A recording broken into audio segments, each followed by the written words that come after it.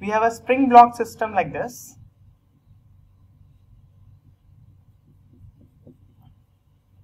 And mu here is not zero. There's friction present in the ground.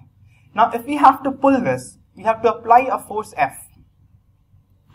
This force F has to do two things. First overcome the spring force and second overcome the friction force. Because the spring force and the friction force both will be opposing the motion of this block towards right. Now, if we do it very slowly, so that the block does not gain any kinetic energy, that then at any point of time the external force has to be equal to the spring force, which is k into x plus frictional force. And suppose very slowly we brought the block to a new position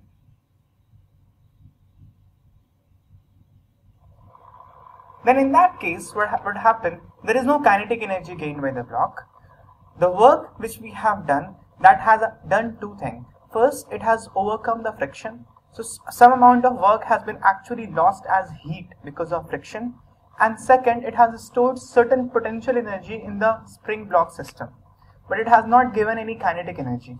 The reason why it has not given any kinetic energy is the total amount of work done equals equates exactly to the sum of the potential energy which has come in the spring and the heat loss due to friction.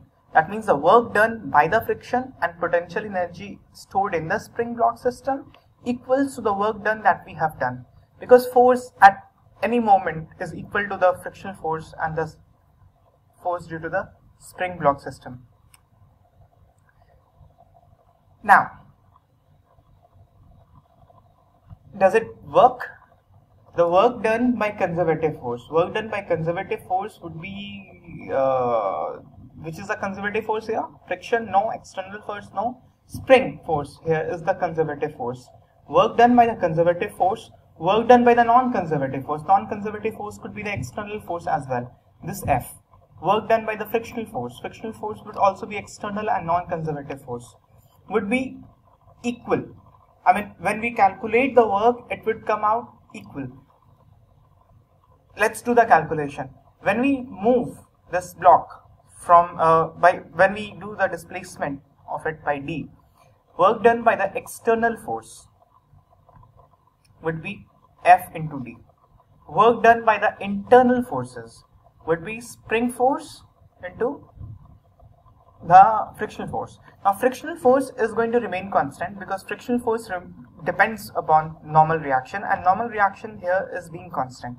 So frictional force is being constant. So the work due to frictional force can be calculated immediately. That means that is mu into n, mu mg into displacement. This is the work done by the frictional force. Work done by the external force would be work let's first calculate work done by the spring force work done by spring force we know is half kx square. This we have calculated before. Because the force will not remain constant the spring force will depend upon the stretch in the spring. And so we have to go for integration. So i mean that you know. So work done by spring force is half kx square. Work done by external force will be this. Because external force is kx into f. So work done a small work done at any moment would be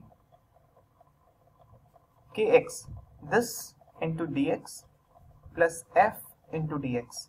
The total work done by external force has will be equal to integration of this. Integration of x dx is half kx square. Uh, is x dx is half x square. The whole of it will be half kx square. And integration of dx is simply x f into x so work done by the external force is equal to half kx square plus f into x. Work done by the spring force. Work done by spring force actually if you use the with, the with the proper sign displacement is on the right and the spring force is on the on the left. So work done by the spring force is actually negative. Minus half kx square. And work done by frictional force again friction is on the left and displacement is towards right. So work done by frictional force is minus mu mg into x. So we see that the work done by external force is exact numerically same but opposite in sign with the sum of the spring force and work done by frictional force. So the net work done will again come out to be zero. So work done is zero, net work done is zero, then change in kinetic energy is zero.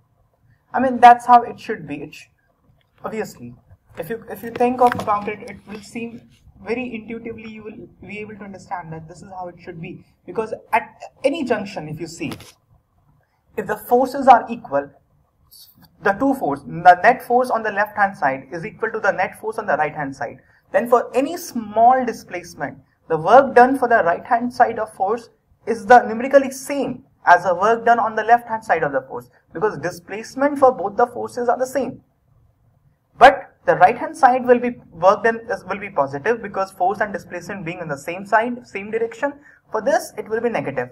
So numerically both will be same but opposite in sign. So net work done will obviously come out to be zero. And because the net force is zero net kinetic energy will also be zero.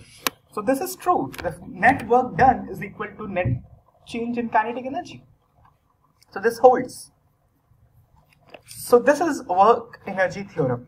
Now we will solve certain problems and we'll see what kind of question could be asked from this.